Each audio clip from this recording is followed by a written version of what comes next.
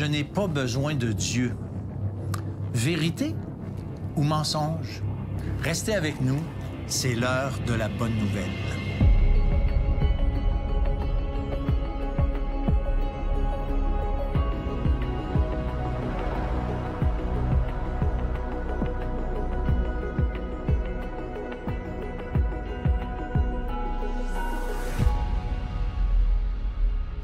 Bonjour et bienvenue à l'heure de la bonne nouvelle. On est dans notre série Détecteur de mensonges et on veut utiliser des croyances populaires et les mettre comme un peu un détecteur de mensonges à la lumière de la Bible, la parole de Dieu.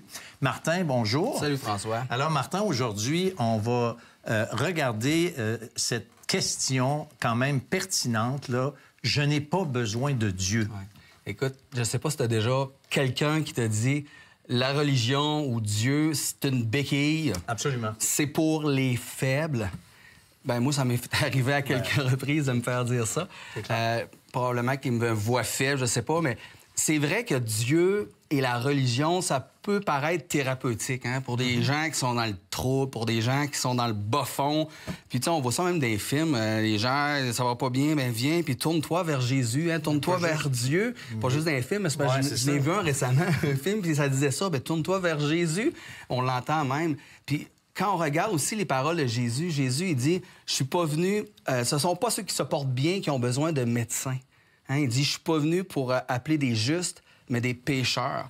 Puis je pense que des fois, l'être humain, on, on se met pas dans la catégorie des malades ou des gros pécheurs. Donc, tu sais, Dieu, ben c'est pour, bon, c'est pour les faibles, c'est pour ceux qui ont des gros problèmes, mais, mais, c'est pas pour moi. Je suis capable de faire mes choses sans, sans lui, sans la religion, sans toutes ces affaires-là. C'est assez populaire, puis on va aller au Vox Pop ensemble, puisque cette semaine, on a posé la question est-ce que vous avez besoin de Dieu pour réussir vos vies?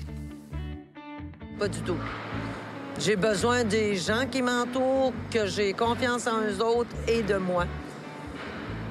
Pas besoin de Dieu. Dieu, c'est toute ma vie. Simplement, là, sans lui, je suis absolument rien. Non, j'ai pas besoin de Dieu pour réussir ma vie.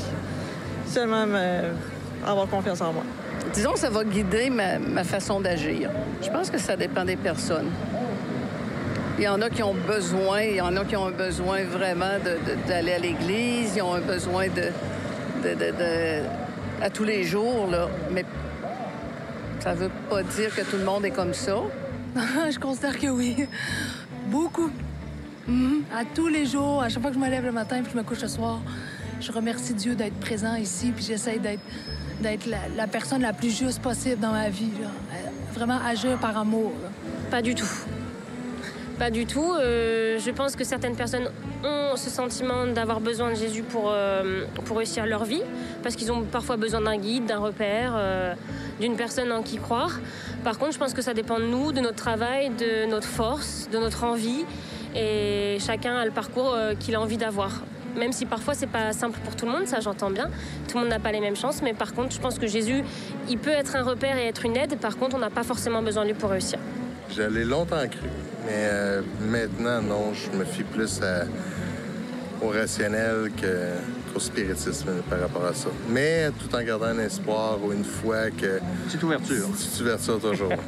C'est pas lui qui fait que je réussis ma vie, mais comme je disais tantôt, il m'accompagne. Puis je pense que je pense que ça fait partie de la personne que je suis, puis qui fait que je réussis dans la vie. Pour réussir sa vie, je sais pas. Parce que réussir sa vie, c'est quand même un. Voilà, c'est ça, a un sens différent pour chacun. Réussir sa vie, pour quelqu'un, ça peut être simplement être riche. Pour d'autres, ça peut simplement avoir fondé une famille, avoir des, des enfants. Et, et, ça, voilà. Alors, euh, Dieu, euh, on peut le solliciter pour réussir tout ça, mais euh, chacun peut faire en sorte de, de mettre du sien pour réussir sa vie. Il y plusieurs qui ont, qui ont dit non, j'ai pas besoin de Dieu, j'ai confiance en moi. Hein, on, on fait confiance. Puis c'est populaire aujourd'hui, la confiance en soi. Euh, moi, je ne souffre pas d'un manque de confiance en moi. Mais quand on parle de la vie, euh, bon, de, de- de mon couple, de mes enfants, de la famille, euh, de mon travail. C'est gros. Je ne me fais pas confiance en, mes- en mes propres ressources. J'ai le goût de bâtir sur quelqu'un de plus grand que moi. Quelqu'un qui, qui est plus fort, qui, qui est tout puissant, en fait, le Dieu de la Bible.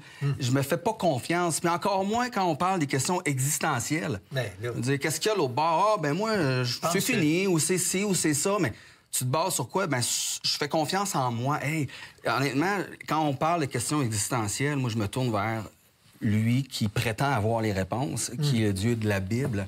Bien, tu sais, quand on a besoin de conseils, mettons, je sais pas, un conseil technique, moi, je suis pas technique, mettons, tu sais, puis j'ai pas un problème avec mon ordinateur, ben j'appelle un de mes gendres qui, qui va me dépanner souvent à distance.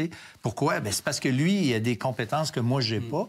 Et en ce qui concerne l'existence, notre raison de vivre, ou pourquoi on vit, euh, pourquoi on est ici, ben c'est pas une bonne idée d'appeler euh, le, le- le spécialiste. Et puis, euh, moi, j'allais dans les cégeps, je faisais un genre de sondage là, informatique. Et puis, une jeune fille, à un moment donné, je n'oublierai jamais, elle dit, moi, ma, ma, ma philosophie dans la vie, c'est, c'est, gars, tu profites de la vie, euh, go, tu y vas, il y a tellement de belles choses, OK, c'est beau. Elle n'avait pas besoin de Dieu. Mais elle n'avait pas besoin de Dieu, justement. C'est ça qu'elle me disait. tu sais. Puis moi, j'ai dit, écoute, ta philosophie, qu'est-ce que ça va faire quand que tu vas être au CHSLD ou peut-être qu'il t'arrive un accident puis tu es quadriplégique? Profiter de la vie puis tout ça, ben, ça, va être, ça va être fini. tu sais. Fait que c'est c'est pas la meilleure, c'est pas la meilleure solution. Et puis, euh, euh, tu sais, on a parlé de faiblesse. Moi, je dis que l'important, c'est pas une question de faiblesse, c'est une question d'être en relation avec le Dieu qui nous a créés. Et c'est ça qui donne un sens à nos vies. Alors, on va aller à la pause, puis tout de suite après la pause, Martin et moi, on continue avec vous et on va dé- développer, élaborer sur le sujet.